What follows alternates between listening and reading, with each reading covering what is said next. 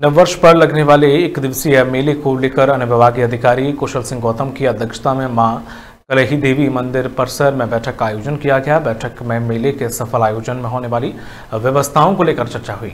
इसके साथ ही समस्त विभागों के अधिकारियों और कर्मचारियों को उनके कार्यों और उनके द्वारा की जाने वाली व्यवस्थाओं को अवगत कराया गया। यह मेला पवई के माँ कलही और प्राचीन सिद्ध स्थल हनुमान भाटा में आयोजित होने वाला है।